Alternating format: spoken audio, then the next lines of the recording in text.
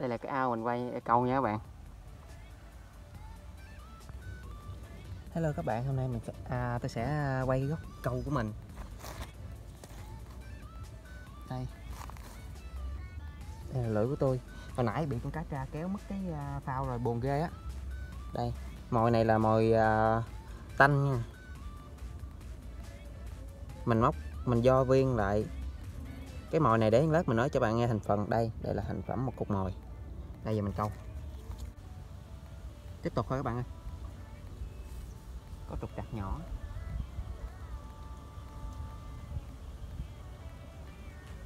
Nếu mà có bộ bộ bộ phao tấm lưỡi thì nó dễ quá rồi, còn bây giờ mình phải câu trần kiểu này khó ghê, khó kỳ luôn. Gặp mấy con cá ăn, nó háo chiến, nó ăn thì không sao, mà gặp mấy con cá mà nó khô, nó rỉa, rất là cực. Đây đây là mồi mồi bột, mồi ờ, cám mà. Lại rẻ hết rồi nè. Bực bội ghê á. Móc một mọi bự chà bá, xúc nó mới được.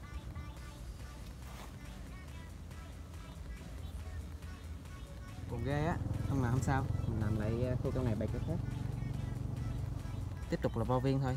Trong đây thì có thành phần là một cái bột tanh, một cái bột cám cò, với lại một quả trứng gà nha các bạn.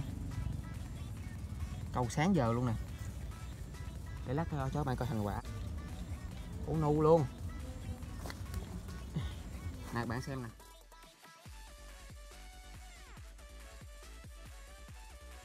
Chưa các bạn mình tưởng đâu con cá nó nó cắn đứt lưỡi rồi nhưng mà không phải chỉ bị sức ra thôi. Cái lưỡi này một bộ nguyên bộ của nó là 10k nhưng mà mình làm đứt cái bộ lưỡi cái bộ uh, có cái phao rồi. Giờ mình phải ờ, uh, câu lại bằng cái lưỡi này. Mới vừa rút lại dây lại luôn. Mới vừa tóm lưỡi xong luôn. Câu nè. Tụi nó khôn lắm. Nó rỉa xong rồi nó chạy lẹ trên hồn luôn.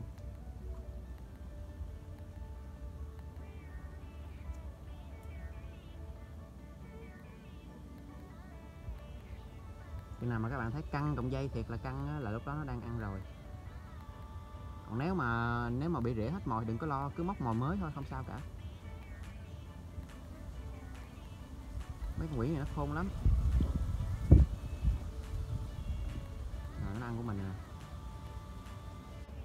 Được thôi.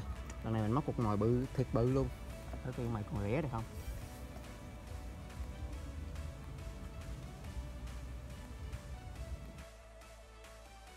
Cá này có ưa quá các bạn không lỗi gì đâu á, rẻ miếng mồi xong chạy mất tiêu. Không ăn. Không sao, giờ từ giờ tới chiều, khu này là của mình rồi. Tại vì ờ, mấy con cá tra này nó nó, nó nãy giờ nó bị mình móc quá trời luôn nãy giờ câu trúng quá thì cá tra rồi. Mình thả xuống thì nó vậy như là khi mà bị câu lên là không bao giờ nó ăn nữa. Vậy đó. Cho nên mình không lo. Dính vô ta. Tại mình à, vừa quay phim mình vừa nói chuyện nè mấy con cá rất là sợ.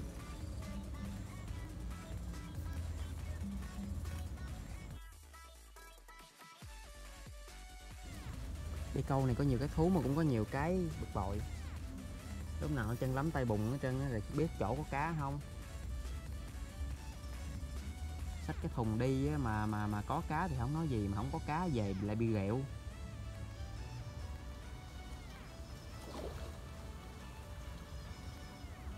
Không hiểu sao luôn sắm bộ cần với cái lưỡi như vậy mà mà mà lại bị chữ khùng nữa các bạn. Mình thích mà đơn giản tại mình thích thôi.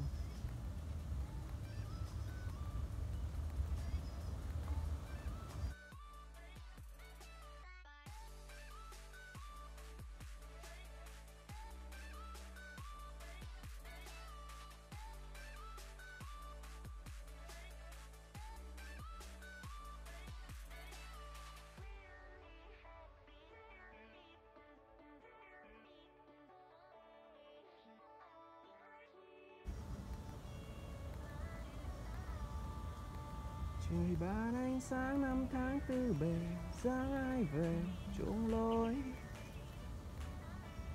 Người ban tia nắng nhưng cớ sao còn tắm tối. Một mai em lỡ vấp ngã trên đời thay đổi. Nhìn về anh. Cá tra lớn các bạn ơi cá tra lớn cá tra lớn. Mình sẽ dìu nó một chút.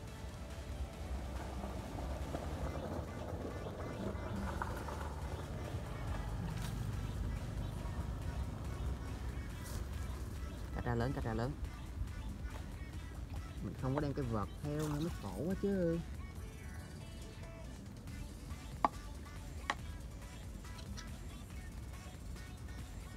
Cái dây này chịu nổi không đây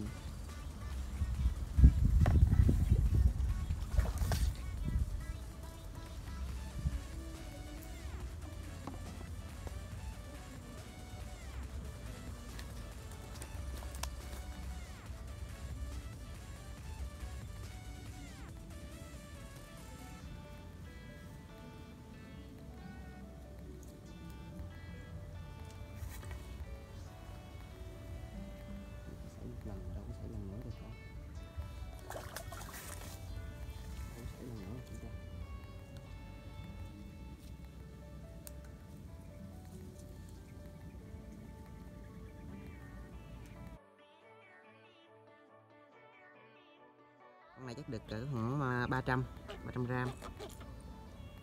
Đây cách cầm nha. Tại vì cái mang nó đâm rất là cái đất rất là nhức. Các bạn phải cầm như thế này. Là hai ngón tay đưa vào cái cổ của nó ngay chỗ cái bụng nó và một tay cầm cái đuôi lại để cho nó không vẫy. Đúng không? Né những cái né cái xúc né cái vây ra của nó ra. Đây con cá này nuốt lưỡi luôn rồi các bạn ơi. Cá này bắt buộc phải phải phải phải, phải cắt lưỡi thôi. Ủa đâu có?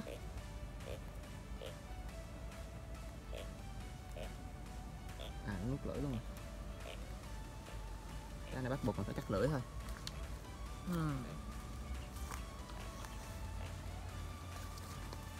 Bữa nay bội thu luôn các bạn ơi quá trời cả luôn rồi. Mình lấy nét. Được một con cá tra với lại một cơ số cá phi